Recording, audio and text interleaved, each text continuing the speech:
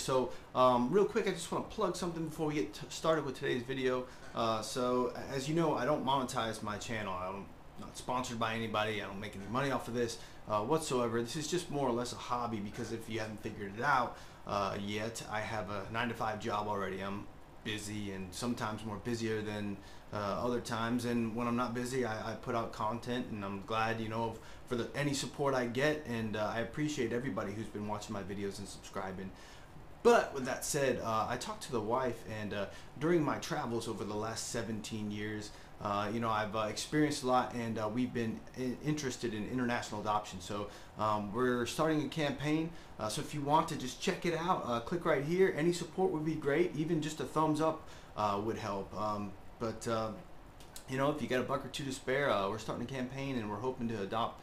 Again, it's a long process, but we'll see where it takes us. So that's all I want to do is plug that real quick, and then we'll go ahead and roll into today's video, which is the way I like to back up my computer. Now everybody's different. It just means you're wrong. Just kidding. But uh, everybody's different, and you know I get that some people like other things. Uh, uh, sometimes you bought extra hardware, external hard drives, what have you.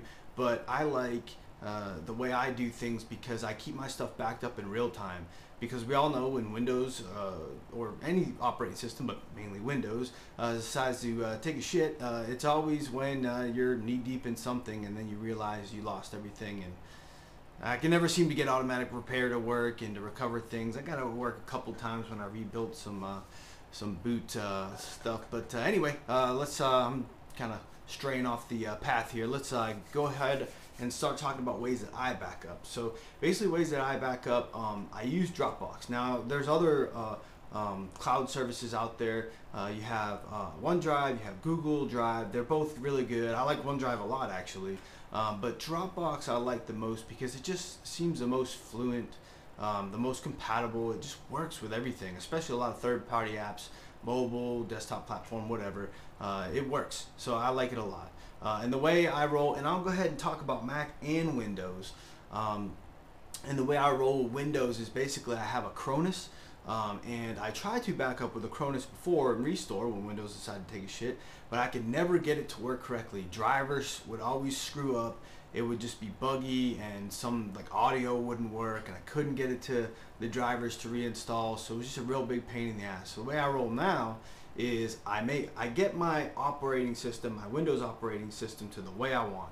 I have uh, my settings set correctly. I have my applications installed. Everything's working right. And then I go ahead and clone it to another drive. And I save that for a special day. And then I point all my folder locations to my Dropbox folders with documents, pictures, movies, music, whatever. And so everything's in Dropbox. So if I'm working on a document or whatever and I'm typing something up and Windows decides to take a shit, well the good news is is it gets saved in real time. So um, if you notice Dropbox, it has that little uh, blue symbol letting you know it's syncing as it goes and that little green check marks lets you know everything's already backed up. So that's a good thing. You never lose anything and you're not dependent on basically waiting for your backup program or whatever to kick on at I don't know daily, weekly, monthly, however often that you back up. Another cool thing about Dropbox is selective sync. So selective sync's really cool because uh, nowadays we like to roll with um, you know solid state drives. A lot of people are getting flash storage, solid state drives, but it's expensive, right? So a lot of people when they're choosing a computer, it could mean the difference between you know few hundred dollars. Uh, so they may get 128 or 256 gigabyte solid state drive instead of the 512 with a one terabyte. Um, and you know, if you're rolling with a low uh, capacity solid state drive, you can find out that that you know gets full pretty pretty quick. But the cool thing with Dropbox is is not only do you have your web app that has the file explorer built in and you can get to your files if you want to, but with selective sync, it lets you choose what is actually going to be taking up space on your hard drive. So for instance, if you have uh, pictures from 2014, 2015, 2016, 2017, right? And uh, you want to archive your 2014 and 15 uh, pictures. So you just uncheck 2014, 2015 on your on your selective sync, and then basically it's still there. It's still in Dropbox. You can click there, and you can go in your web app and look for it, search for it, whatever. It'll be there, but it won't be taking up space on your hard drive. So on your hard drive, you'll have your newest 2016, 2017 pictures, and so that's a way to, especially with videos, uh, save money. Okay, real quick. So why is this backup method important?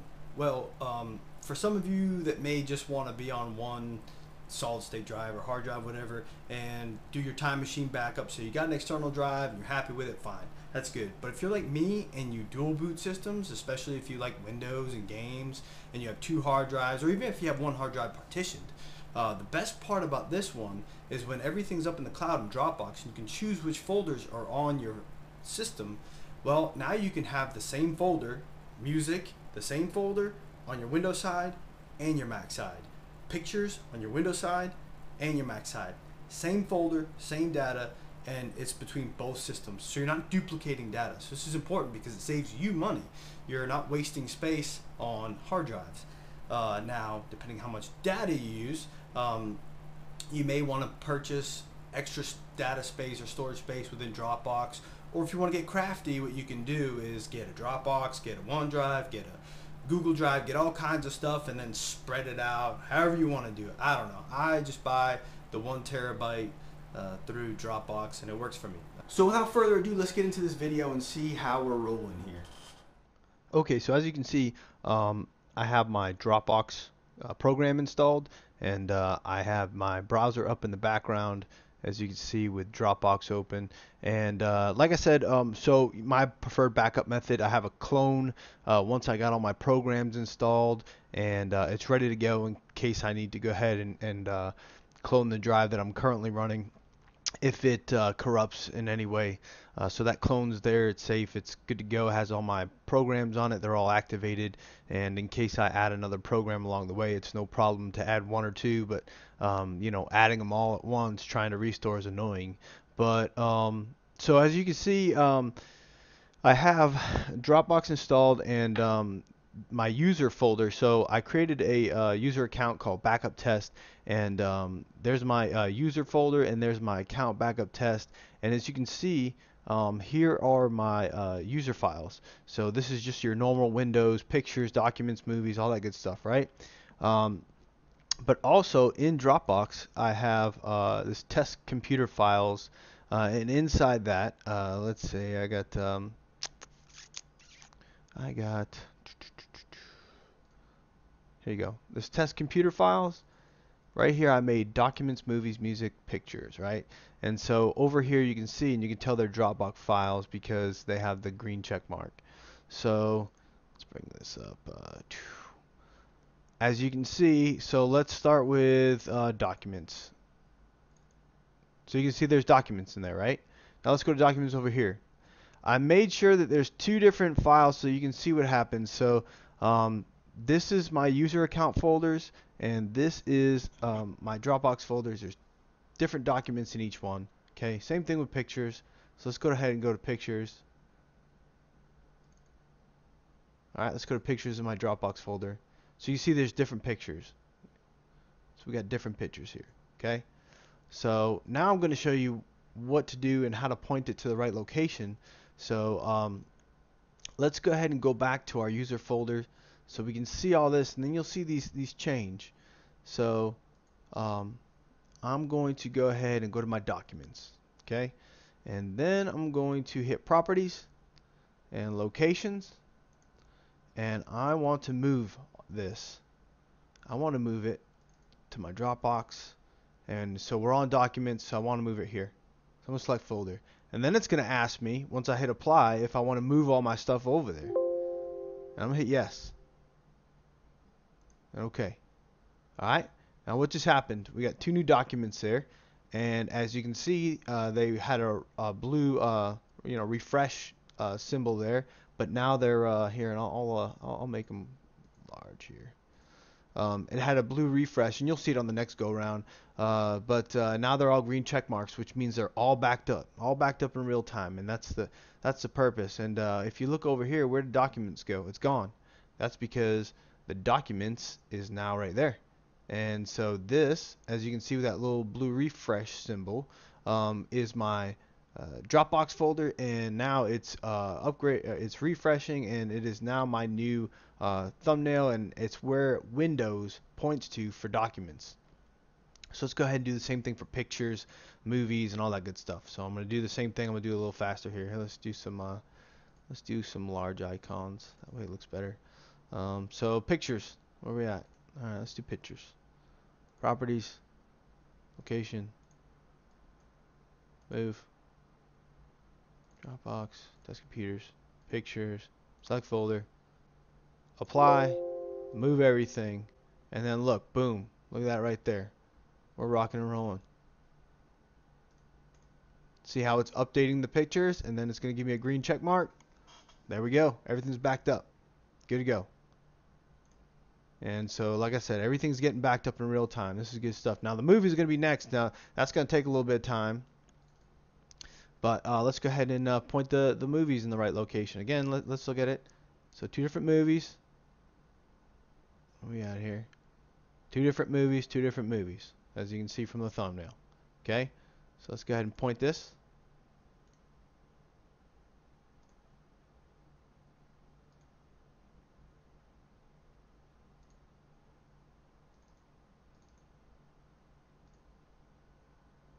Here, we'll rename that to videos.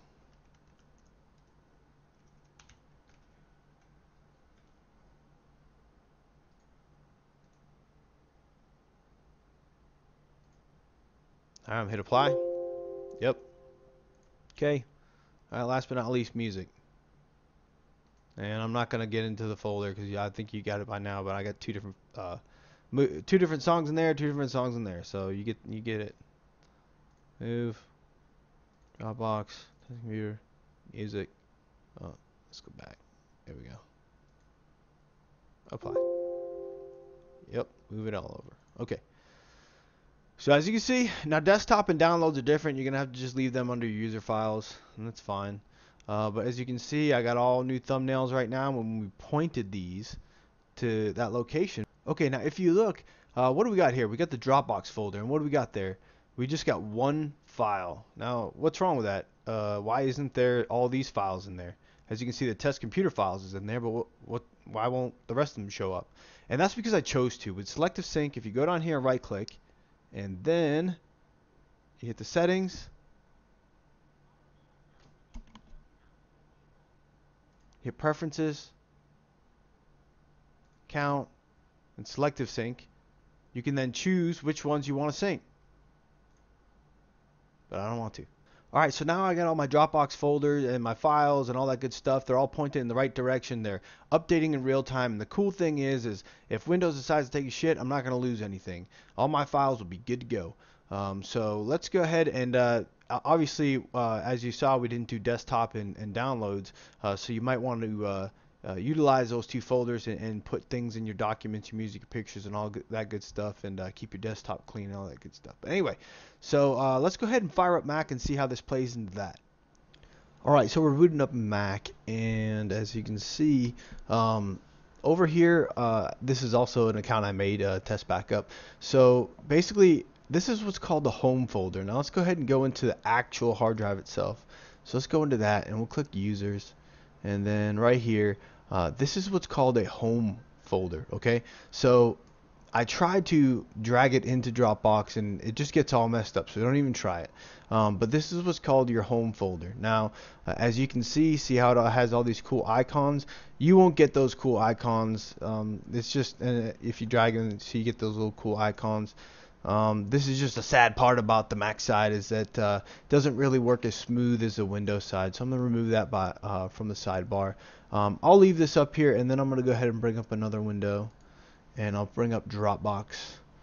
So Dropbox and as you can see there's only one folder in there because that's what I chose and remember this is crucial if you're running a low uh, capacity solid state drive or flash drive or hard drive if you want to go and um, everything's up in the cloud and you can keep it there for archive purposes and everything you need that you want to work with is right here. So it takes up less space and you can open your web app if you want to access older files.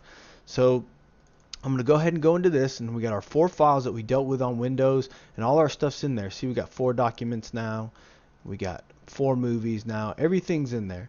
So now I'm going to go ahead and drop this into here. And then videos music. And there we go. So now I got my sidebar working there, and so these are going to be uh, my files that I'm going to work with. Um, you can open a photo and go to preferences, and then actually, um, if you have, uh, you can move your um, iPhoto or photos uh, icon into your pictures album, and then point photos towards it. But here, I'll I'll, uh, I'll give you a good example um, of iTunes. So you can point applications to where you want to use uh, your stuff. Here, let's go. Actually, let's go into my music here, and let's go ahead and do this. Okay. So this is my Dropbox folder. As you just saw, I just uh, drug all those um, movies into iTunes, and I'm gonna tell iTunes to go ahead and if I go to Advanced, I'm gonna change the directory. I'm gonna go to Dropbox, Test Files, Music. You know what? I'm just gonna do this. So I'm gonna hit OK. Um, and I'm not going to want you to copy or do any of that. I uncheck all of these. I uh, I like that too. So um, uh, if you choose to copy, you're going to duplicate uh, files. I don't recommend that. And then if you do this, they'll start throwing stuff everywhere. It just depends if you want them to keep your stuff organized or not. I don't. So I'm hit OK. And as you can see, here, let's do this. Um, we'll do, sorry about that. We'll do a control, uh, Command O, and then we'll do this. There we go. Now we'll do that. Okay. So it, so it adds it. So I was Command O and it lets you add a folder. I added the folder, and now all our songs are in there. So as you can see, we pointed the library to that location, and we have all our songs imported into uh, iTunes. Same thing with photos. You can do the same thing with that. Uh, each uh, application should allow you to point uh, stuff like pictures, movies, whatever you got going, uh, to the respective location. And the beauty about this setup is that once you, if you do dual boot systems, you have uh, both files. So I'm using the same music files on my Mac side and on my Windows side. I'm using the same videos on my Mac side and the Windows side. So I'm not duplicating files. Everything works perfectly. Well, for me at least. Uh, if you like your your way of doing things and your way of backing up, it's totally up to you. But I think this is definitely an effective way of backing up, especially the fact that Dropbox updates it in real time. So this completes my tutorial on how I back up my system. Uh, but if you back up your system differently, let me uh, let me know what you're doing. Uh, let me know what uh, what you think's effective, and uh, just hit me up in the comments, and uh, you know I'll take a look into whatever you got going. But I think this is a very effective way, especially if you're dual booting systems, and I like it. So that's the video I got for you today. I hope you liked it. If you did, go ahead and hit that like button. If you didn't, go ahead and hit that dislike button. If you want more content like this, go ahead and hit the subscribe button. And also, uh, don't forget to uh, check out that campaign me and my wife are kicking off. Uh, we're really excited. We want to start this whole adoption process. So, hey, if you got a couple bucks, throw it our way. Uh, like I said, I don't monetize any of my videos or anything like that. So, uh, this is more or less a hobby. But speaking of that, all the subscribers and all the viewers, I appreciate everything. I appreciate all the comments. I appreciate um, the views. And I couldn't uh, be more humbled to, to keep putting out content and get the response that it has. thank you for everything, and I'll see you later.